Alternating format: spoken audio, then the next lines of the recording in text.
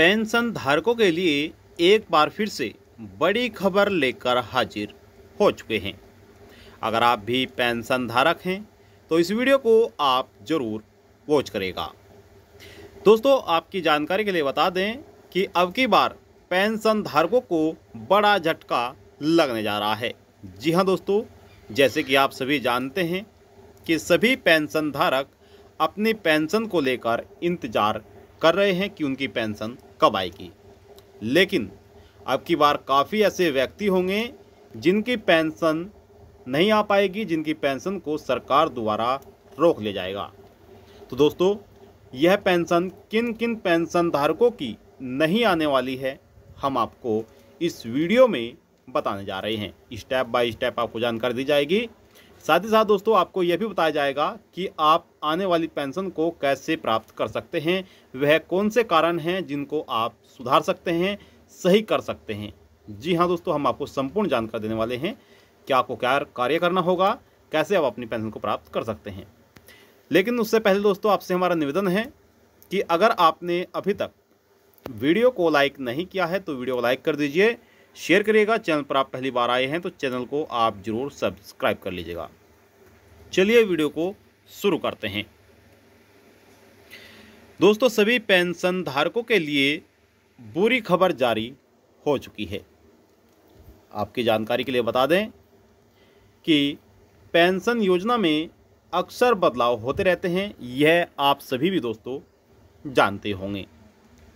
जिस प्रकार से दोस्तों, नए नियमों में बदलाव होता है, कई बार नए नियम भी लागू किए जाते हैं। दोस्तों, उन्हीं नियमों के मुताबिक अब की बार जो आने वाली पेंशन है, काफ़ी व्यक्ति वंचित उन पेंशन से रह सकते हैं। अब दोस्तों, यहाँ पर वह क्या कारण है, उसके बारे में बताएँगे। क्या आपको कार्य करना है, उसके बारे में भी हम आपको यहाँ पर जानकारी देने जा रहे हैं। दोस्तों, आपको बता दें कि चाहे आप किसी भी ज़िले के रहने वाले हैं, किसी भी राज्य के रहने वाले हैं, यह कार्य सभी पेंशन धारकों को करना अनिवार्य है। चाहे आपकी पेंशन दोस्तों वर्धावस्था हो, दिव्यांग हो, या फिर आपकी पेंशन विधवा पेंशन हो, सभी पेंशन धारकों को यह कार्य करने हैं।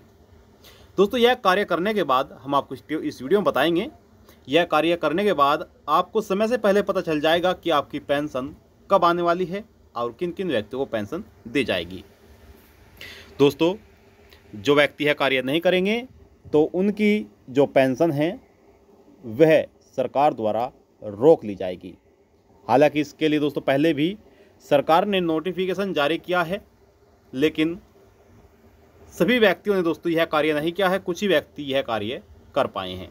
चलिए आगे बात करते हैं और आपको बताते हैं कि आपको क्या कार्य करना है। दोस्तों, आपकी जानकारी के लिए बता दें, कुछ दिनों पहले सरकार ने नए नियम लागू किए थे, जिसके अंतर्गत सभी पेंशन धारकों को ई के करना अनिवार्य कर दिया था। लेकिन दोस्तों, यहाँ पर सभी व्यक्तियों ने अपनी पेंशन की के नहीं कराई है। अभी भी अगर उत्तर प्रदेश की बात करें तो दोस्तों उत्तर प्रदेश में पचास हज़ार से भी अधिक ऐसे पेंशन धारक हैं, जिन्होंने के नहीं कराया है। दोस्तों एक कार्य और आपको कराना है, जो अति महत्वपूर्ण है और चाहे आपकी जो भी पेंशन है, वह भी आप सभी को कराना है। सभी राज्य निवासियों को, सभी ज़िले में, आप किसी भी ज़िले में रहते हैं, आपको वह कार्य कराना अनिवार्य है। सबसे पहले जो कार्य है, वह हमने आपको बताया है कि आपको यहाँ पर के कराना अनिवार्य है। देखिए जिन पेंशन धारकों ने अपनी पेंशन की के करा ली है, उनको दोबारा से के कराने की आवश्यकता नहीं होगी। ठीक है? तो दोस्तों, यहाँ पर सबसे पहले आपको कार्य है कि के ज़रूर कराइएगा। और दोस्तों आपको बताना चाहेंगे कि काफ़ी ऐसे व्यक्ति हैं, ऐसे अपात्र व्यक्ति हैं, जिनको सरकार रोकने के लिए, यानी कि उनकी छानबीन करने के लिए यह नियम लागू किया है और दोस्तों, आपकी के के अनुसार, यानी कि आपके आधार कार्ड के अनुसार ही पेंशन धारकों को जांचा जा रहा है। क्योंकि दोस्तों, पेंशन ट्रांसफ़र करने से पहले सरकार द्वारा सभी पेंशन धारकों की पेंशन को जांचा जाता है, चाहे वह कोई भी पेंशन धारक हो, जिसमें पता चल सकता है कि कौन व्यक्ति पात्र है और कौन व्यक्ति अपात्र है। जो व्यक्ति अपात्र होते हैं, उनकी पेंशन को रोक दिया जाता है। और जो पात्र व्यक्ति होते हैं, जो सही व्यक्ति होते हैं पेंशन धारक होते हैं, उनकी पेंशन को सरकार द्वारा ट्रांसफ़र कर दिया जाता है। दोस्तों, अगर उत्तर प्रदेश की बात करें तो यहाँ पर जो पेंशन है, वह तीन हज़ार रुपये पेंशन सरकार की तरफ़ से दी जाती है। लेकिन यहाँ पर एक खुशखबरी भी है, अगर हम आपको दें तो दोस्तों, यहाँ पर पाँच सौ रुपये और बढ़ोतरी होने की चर्चा की जा रही है। यानी कि पेंशन में अगर पाँच सौ रुपये की बढ़ोतरी हो जाती है तो दोस्तों पेंशन धारकों को बढ़कर पेंशन मिलेगी। हालाँकि आने वाली जो पेंशन आपको मिलने वाली है, वह तीन हज़ार रुपये ही आपको मिल पाएगी।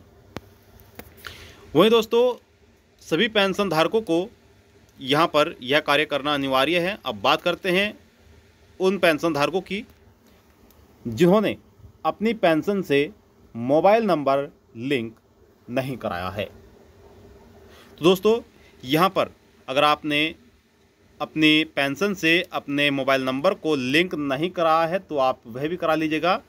दोस्तों, अगर आप मोबाइल नंबर को लिंक करा लेते हैं तो दोस्तों आपको पहले ही पता चल जाएगा कि आपकी अकाउंट में आपकी पेंशन कब आएगी या फिर आपकी पेंशन आपके अकाउंट में आई है या नहीं आई है।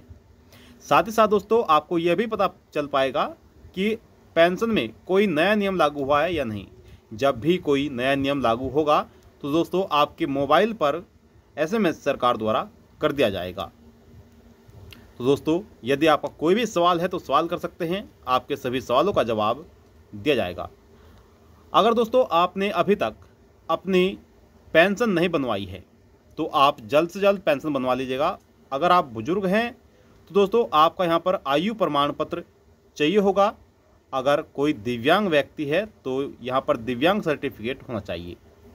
दोस्तों, अगर दिव्यांग सर्टिफिकेट की बात करें तो 40 प्रतिशत का आपका दिव्यांग सर्टिफिकेट होना चाहिए, तभी आप पेंशन को बनवा सकते हैं।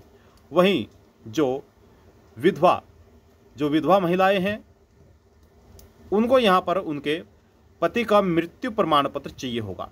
अब दोस्तों, यह सभी दस्तावेज़ आपके पास होने चाहिए और साथ ही आपका जो आय प्रमाण पत्र है, अगर आप ग्रामीण क्षेत्र से हैं तो चालीस हज़ार अस्सी रुपये का आपका आय प्रमाण पत्र होना चाहिए।